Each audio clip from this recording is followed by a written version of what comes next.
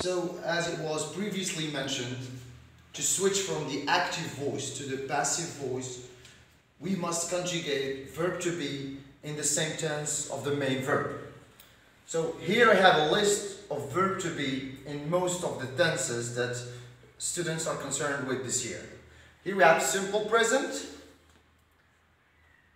simple past, present continuous, present perfect, past continuous, and past perfect along with all the list of uh, modals.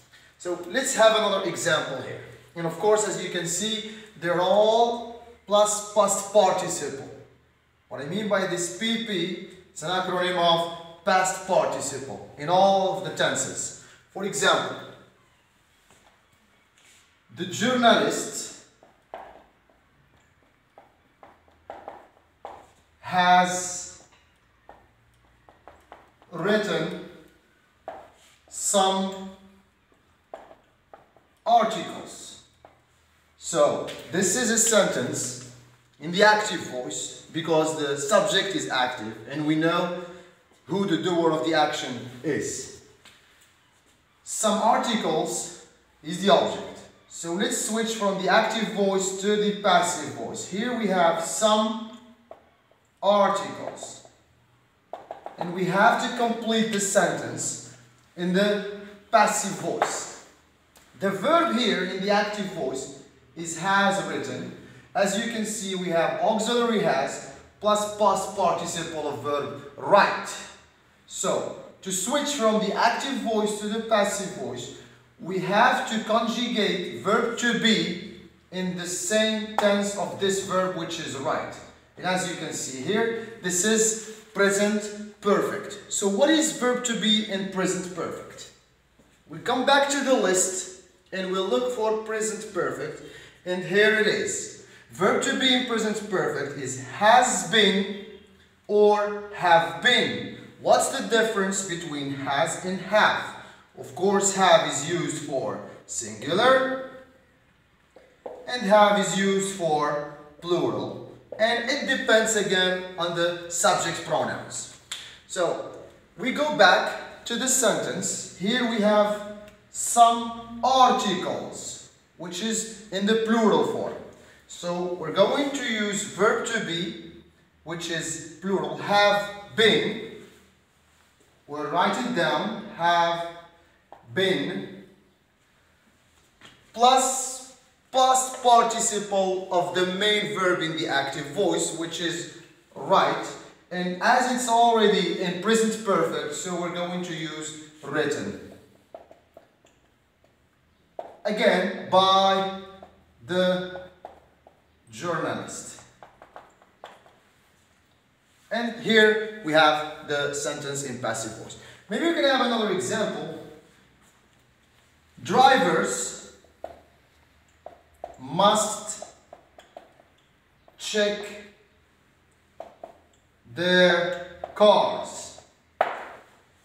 Active voice, we switch to passive voice, subject, verb, and object. We start with the object, cars. So, the verb here is must check using the modal of obligation. We come back and look for verb to be in the list again. And of course, as we have must, it's in modals. Here we have must. So, must, we copy or we rewrite the modal verb again. So if we have must, we rewrite must. If we have will or may or could or should, we rewrite them again. Of course, I said plus be plus past participle. So here I have must plus be plus past participle of verb check, which is regular verb checked. Again, by drivers. One more example.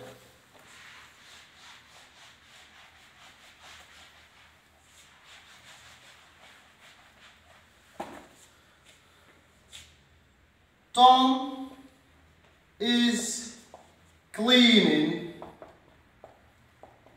the room. So as you can see here, we have the continuous. And it's present continuous. So the verb is is cleaning. We conjugate verb to be in the tense of the main verb. And we look for the continuous. Is plus verb plus ing. So that's present continuous.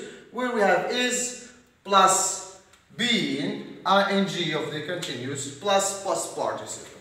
We switch to the passive voice. The room is for singular or for plural. And here, as you can see, we have only one room. Is being plus past participle of the verb, which is a regular verb, is being cleaned by Tom. So this is the lesson of passive voice. I would like to thank you for your attention and I hope that it's all clear. Thank you very much. See you with another course.